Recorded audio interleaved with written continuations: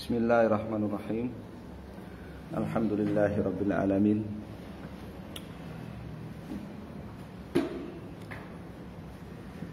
Kita lanjutkan membaca tafsir Al-Muyassar Surat Ali Imran Ayat yang ke 156 Dan seterusnya. Yaitu firman Allah subhanahu wa ta'ala أعوذ بالله من الشيطان الرجيم. يا أيها الذين آمنوا لا تكونوا كالذين كفروا وقالوا لإخوانهم إذا ضربوا في الأرض أو كانوا غزا لو كانوا عندنا ما ماتوا وما قتلوا. لو كانوا عندنا ما ماتوا وما قتلوا ليجعل الله ذلك حسرة في قلوبهم. والله يحيي ويميت. والله بما تعملون بصير. ولئن قتلتم في سبيل الله أو متم لمغفرة من الله ورحمة خير مما يجمعون. ولئن قتلتم في سبيل الله أو متم لمغفرة من الله ورحمة خير مما يجمعون. ولئن متم أو قتلتم لإلى الله تحشرون. فبما رحمة من الله لنت لهم. ولو كنت فظا غليظ القلب لانفضوا من حولك. فاعف عنهم واستغفر لهم وشاورهم في الأمر. فإذا عزمت فتوكل على الله. إن الله يحب المتوكلين. Qala fit tafsir Miasa disa wa khamsin. Miasa disa ba'dal khamsin ya 156 Ya ayuhalladzina wahai orang-orang yang saddaqullaha Beriman kepada Allah wa rasulahu dan rasulnya Percaya kepada Allah dan rasulnya Wa amilu serta mengamalkan bisyari Syariatnya. Ini definisi iman. Apa definisi iman? Percaya kepada Allah dan rasulnya serta mengamalkan syariatnya La takunu kalladzina kafaru. La tusyabihu, jangan kalian meniru-niru. Jangan kalian meniru-niru al-kafirin, orang-orang kafir. Alladzina la yu'minuna bi rabbihim. Orang-orang yang tidak beriman kepada Allah Subhanahu wa taala pencipta mereka. Fahum yaqulun mereka berkata ikhwanihim kepada saudara-saudara mereka min ahlil kufri dari orang-orang kafir. Idza kharaju ketika mereka keluar dari rumah mereka yabhatsuna fi ardillah mencari di bumi Allah ini an ma'ashihim penghidupan mereka Aukanu ma'al ghuzati atau mereka keluar dari rumah mereka bersama al ghuzati para pasukan perang al muqatilin para petempur Famatu lalu mereka mati au kutilu atau terbunuh. Kalian jangan meniru-niru orang kafir. Orang-orang kafir itu mereka ketika keluar dari rumah untuk cari rezeki atau cari penghidupan atau untuk berperang bersama pasukan perang, kemudian di antara mereka ada yang mati atau terbunuh, mereka berkata, "Laulam yakhruj haula'i" andaikan mereka-mereka yang mati itu tidak keluar dari rumah mereka walam yuqatilu tidak pula berperang. Wa aqamu ma'ana. Tapi mereka tetap bersama kami saja. Ma matu wa ma qutilu saya mereka tidak akan mati dan tidak akan terbunuh ya pendek sekali logikanya ya pendek sekali. Seakan-akan ya yang pergi dan berperang itu mesti mesti mati. Ya, yang pergi dan berperang itu mesti mati. Jadi kalau yang di rumah ini nggak mati. Ya, yang isolasi mandiri, yang isoman di rumah itu mesti mati.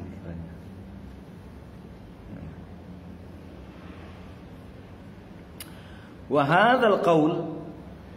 Ucapan seperti ini yuziduhum alaman hanya membuat mereka semakin sakit. Wahazanan semakin berduka. Wahasratan dan semakin menyesal. Tastaqirru fi qulubihim. Ya tertanam dalam hati mereka ya seandainya mereka tidak begini maka mereka tidak akan begini Seandainya tidak begini mereka tidak akan begini dan seterusnya.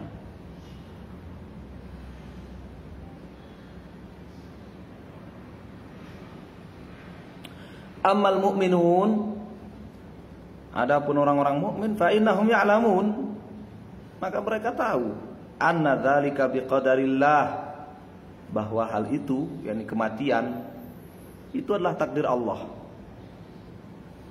Fayahdillahu qulubahum. Dengan begitu Allah memberi hidayah kepada hati mereka. Orang-orang mukmin mereka mengetahui kematian itu takdir dari Allah.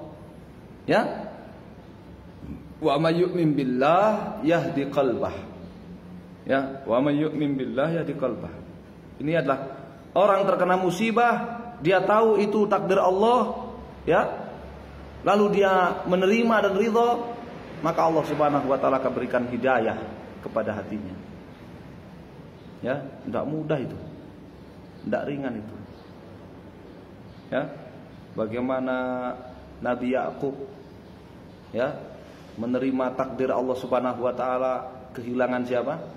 Nabi Yusuf ditahan supaya tidak mengeluh sampai buta matanya. Menahan ya dalam menerima takdir itu menahan supaya tidak mengeluhkan dukanya sampai apa? Matanya buta. Sampai matanya memutih. Tidak ringan. Ya. Illa liman yassarahullah.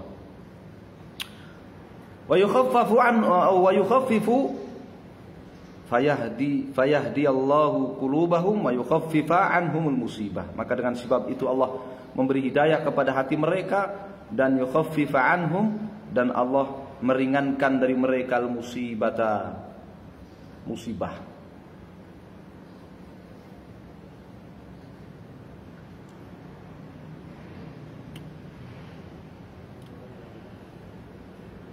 Wallahu yuhyi man qaddara lahul hayata.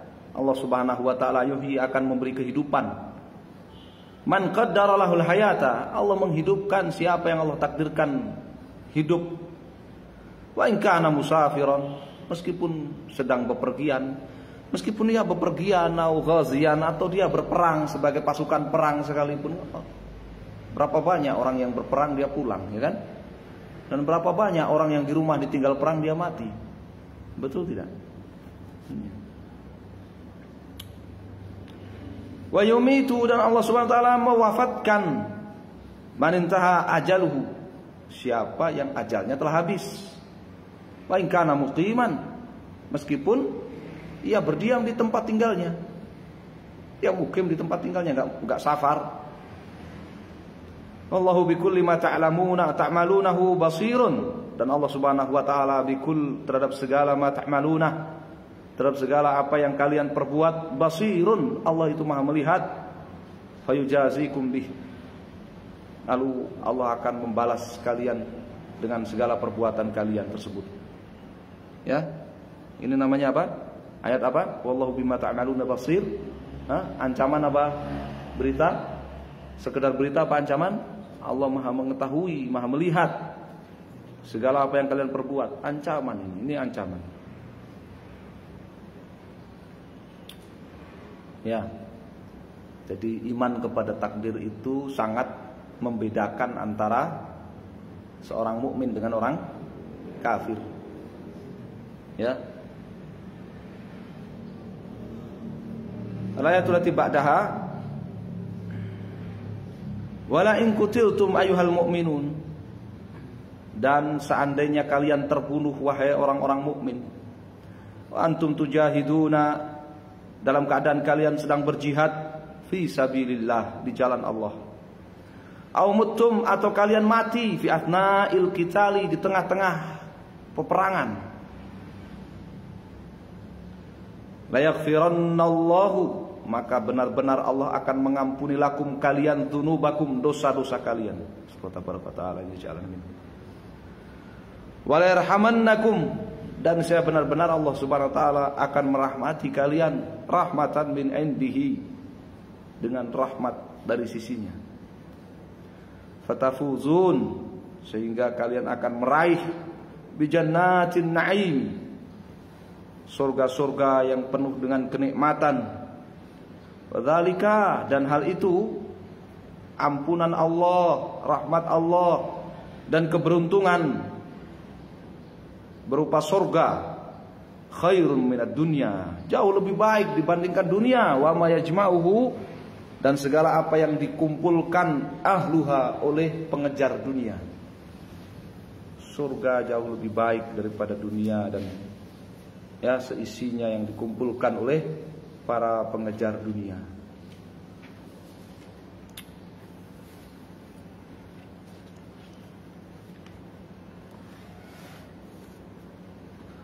Nasallahu tabaraka wa ta'ala jalan an yarzuqana syahadata fi sabil.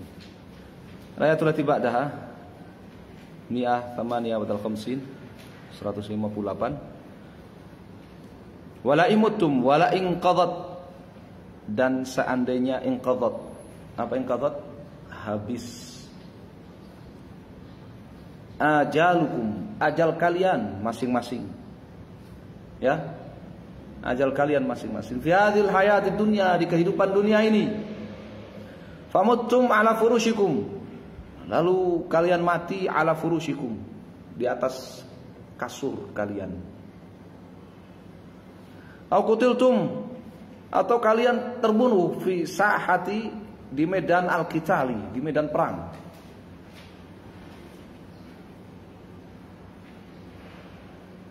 La ilallahi wahdahu maka hanya kepada Allah satu-satunya tuhsyaruna kalian akan dikumpulkan. Ini ancaman apa berita? Hah? Ini ancaman apa berita? Ancaman. Ya, jadi kalau Allah memberitakan kalian akan kembali kepada Allah, kalian akan dikumpulkan kepada Allah. Ya, Allah Maha melihat perbuatan kalian, Allah Maha mengetahui perbuatan kalian. Itu semua adalah apa? Ancaman. Itu semua adalah ancaman. La ilallahi wahdahu maka hanya kepada Allah satu-satunya tuh syarun kalian akan dikumpulkan.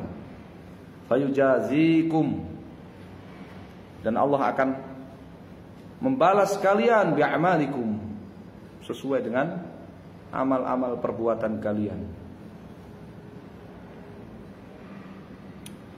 Fabima rahmatin minallahi lintalahum. Fabi rahmatin maka sebab rahmat minallah dari Allah laka kepadamu wahai Nabi SAW wali ashabik dan kepada sahabat-sahabatmu ayuhan Nabi wahai Nabi. Dengan sebab rahmat dari Allah kepadamu wahai Nabi dan para sahabatmu manallahu alaika Allah karuniakan kepadamu. Fakunta rafiqan Allah karuniakan kepadamu sehingga kamu menjadi rafiqan bihim menjadi penyayang kepada mereka penyabar terhadap mereka. Rafiq rafiq itu sabar yang disertai dengan kasih sayang. Ya sabar yang disertai dengan apa? Kasih sayang bukan sabar tetapi memendam. Ya memendam ketidaksukaan. Tidak. Sabar disertai dengan kasih sayang itu namanya rifq ya lemah lembut ya kamu sabar dan kasih sayang kepada mereka, kamu lemah lembut kepada mereka. Walau kunta seandainya engkau wahai Nabi sayyi al khuluqi berakhlak buruk qasi al qalbi keras kepala seandainya engkau itu berakhlak buruk dan keras kepala lan sarafa ashabu niscaya akan pergi sahabat-sahabatmu min haulik dari sekelilingmu. Fala tu'akhidhum maka jangan engkau wahai nabi ya menyalahkan mereka bima kana minhum fi ghazwati Uhud atas apa yang mereka perbuat fi ghazwati Uhud dalam perang Uhud.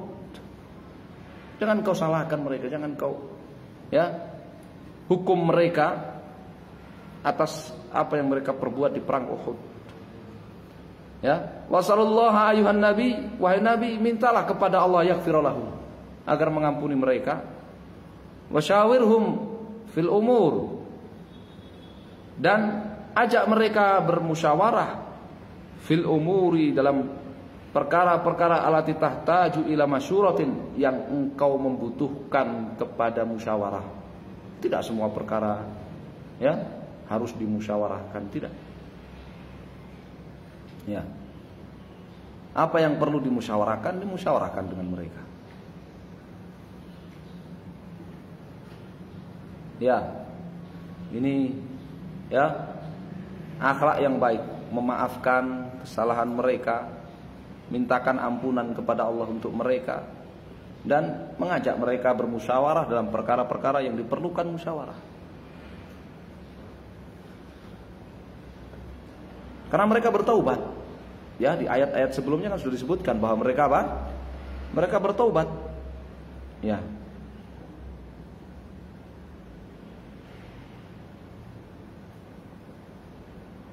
Di ayat yang ke-155. Ya, ayat 155 disebutkan mereka bertobat. Adapun orang yang terjatuh pada kekeliruan dan tidak bertobat, maka ya, perlakuannya lain. Paham ya? Jadi ayat yang ke berapa ini? 159 ya, supaya Nabi ya memaafkan mereka fa'fu anhum ayla tu'akhidhum jangan kau hukum mereka Ya, jangan kau salahkan mereka atas perbuatan mereka di perang Uhud. Mintakan ampunan untuk mereka dan ajak mereka musyawarah dalam perkara-perkara yang diperlukan musyawarah. Ini kenapa? Hah? Karena di ayat 155 sudah diterangkan mereka apa? Mereka bertaubat. Ya innalladzina tawallaw minkum yawmal taqal jam'an innama stazallahum syaitan bi ba'dhi ma kasabu wa 'afallahu anhum. Ya Allah sudah mereka bertobat dan Allah menerima taubat mereka. Ya, jadi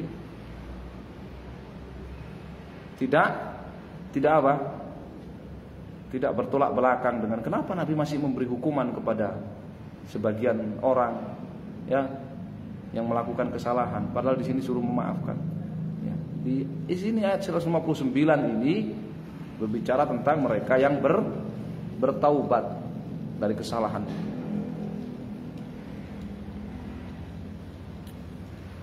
Faida azamta Adapun kalau yang tidak bertobat ya maka dihukum oleh Nabi SAW banyak kejadian seperti itu. Faida azamta apabila engkau telah bertekad ala amrin untuk satu perkara minal umur dari perkara-perkara ba'dal istisyarati sesudah bermusyawarah famdi maka Jalankan keputusan itu mu'tamidan 'ala Allahi wahdah dengan bertawakal ya, dengan bersandar, dengan mengandalkan berserah kepada Allah Subhanahu wa taala satu-satunya.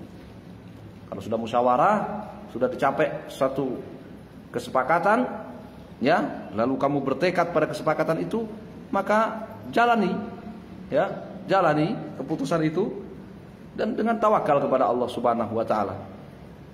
Inna Allah yuhibbul mutawakkilina alaihi. Karena sesungguhnya Allah Subhanahu wa taala itu mencintai ya orang-orang yang bertawakal kepadanya. Ini memberi pelajaran bahwa yang namanya tawakal itu bukan berarti tanpa usaha. Ya. Namanya tawakal itu bukan berarti tanpa usaha. Nabi disuruh, disuruh bermusyawarah. Ya. Nabi disuruh bermusyawarah pada perkara-perkara yang perlu dimusyawarahkan setelah dicapai keputusan ya dari musyawarah itu maka Nabi diperintahkan untuk berazam, bertekad, bukan sekedar mengerjakan tapi dikerjakan dengan serius. Ya. Dikerjakan dengan serius keputusan itu dengan bertawakal kepada Allah SWT. Jadi tawakal itu bukan tanpa usaha. Ya keliru. Ya. Keliruan sebagian orang-orang sufi ya. Tasabuh meniru-niru uh, para biksu ya kan. Ya, alasannya tawakal enggak enggak pakai usaha. Semua sama. Baik, kita cukupkan sampai di ayat yang ke-159. Kita lanjutkan di ayat yang lain. Wallahu taala alam sallallahu alaihi wasallam. Alhamdulillah.